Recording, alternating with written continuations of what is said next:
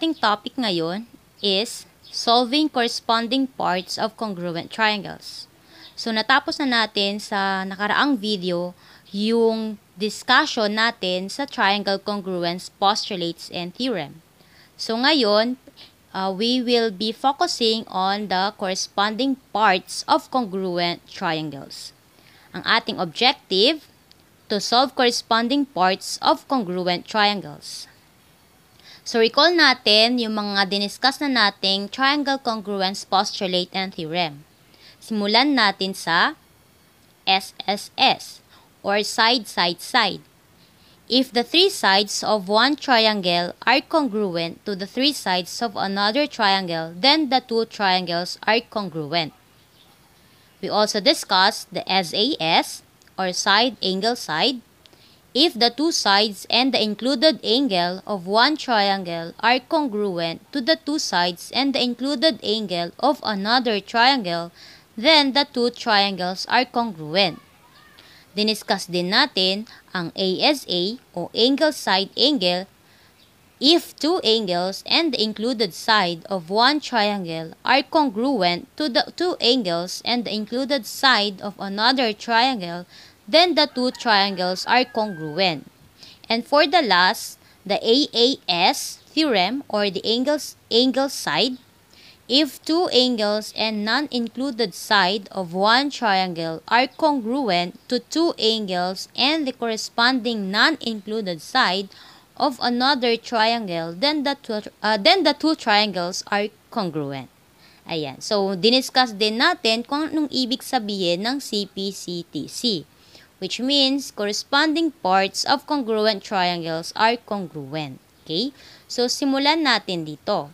Meron tayong triangle ABC and triangle DEF. Pag sinabing corresponding parts of congruent triangles are congruent, lahat ng corresponding parts ay congruent sa isa't isa. So, here are the following markings. So, meron tayong mga markings na kung saan nagpapakita na ang bawat sukat ng bawat corresponding parts ay pareho or uh, parehas or the same, exactly the same. Okay? So, yun. Simulan natin sa corresponding sides.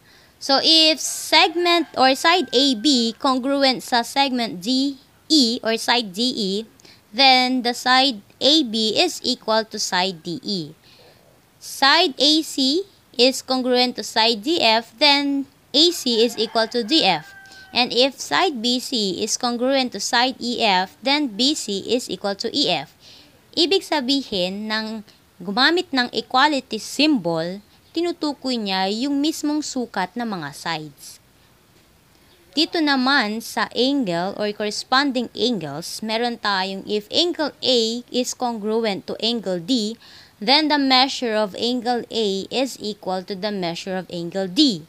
So, gumamit tayo ngayon ng symbol ng M, stands for or reads as measure, at gumamit tayo ng equality symbol. Since, ang tinutukoy nito ay yung sukat ng angle. So, tandaan, ang congruent symbol indicates the congruency of polygon. So, the right way to uh, to use this symbol is this. So, yan. Sa una, pag sinabing side AB congruent to side DE, and the conclusion will be AB is equal to DE, as well as the corresponding angles. So, meron tayong mga steps in solving for the corresponding parts of congruent triangles. So, step 1 natin, i-drawing natin yung triangles kung hindi provided. And then, we need to label the parts at isulat ang mga measurements. For step 2, i-verify natin kung yung mga given pair ng triangles ay congruent gamit ang mga iba't ibang klase ng postulates and theorem. Sa step number 3, i-determine natin yung mga corresponding parts. And for step 4, i-identify natin yung mga missing parts by the given parts. So, example tayo. Find the measure of the indicated parts, so side IN, side IK, angle M and angle U given the illustration. So, base sa step 1, ito-drawing daw natin yung triangles kung hindi po provided. Pero dito sa ating example number 1, meron na siyang illustrations. So, yan. Meron tayong dalawang triangles. At nakalabel na rin ang mga parts at measurements. So, meron na tayong step 1. Pwede na tayong sumunod sa step 2. Sa step 2 natin, i-verify natin yung kung yung dalawang triangles natin congruent. So, since base sa mga given parts, pwede nating i-apply ang ASA or yung angle side angle. At yun ang step number 2. Para sa step number 3, we can now uh, determine the corresponding sides and corresponding angles. So, sa corresponding sides, meron tayong side MU corresponds to side IN NK. Ayan po. Side UG corresponds to side NK. Side MG corresponds to side IK. So, yan po yung corresponding sides. Pagdating sa corresponding angles, meron tayong angle M corresponds to angle I, angle U corresponds to angle N, angle G corresponds to angle K. So, tapos na tayo sa step number 3. Pagdating sa step number 4, we need to use the given parts to identify the missing parts. So dito, sa letter A, ang hinahanap natin, if IN is equal to MU, and MU is 13.49, ibig sabihin, ang sukat ni IN is also 13.49. And for letter B, if ik is equal to mg and mg is equal to 11, then ik is equal to 11. And for the measure of angle m is equal to the measure of angle i, and the measure of angle i is 60, then the measure of angle m is equal to 60.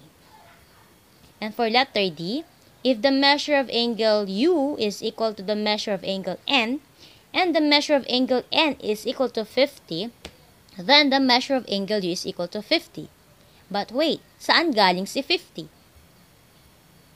So, base sa ating uh, property, which is transitive, if A is equal to B and B is equal to C, then A is equal to C.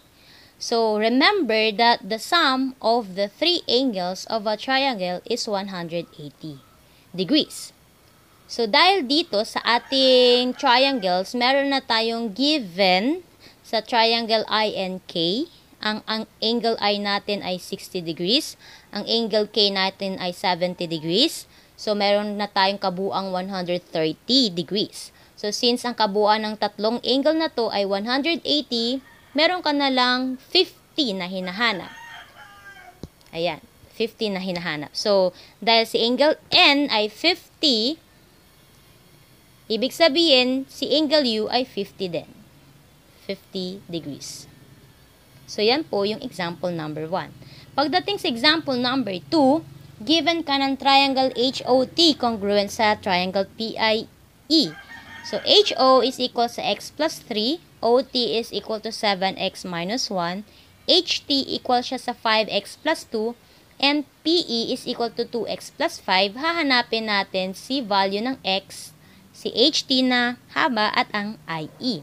So, dahil wala tayong illustration sa ating example number 2, ito-drawing natin yung triangles, ililabel ang parts, at isusulat ang mga measurements.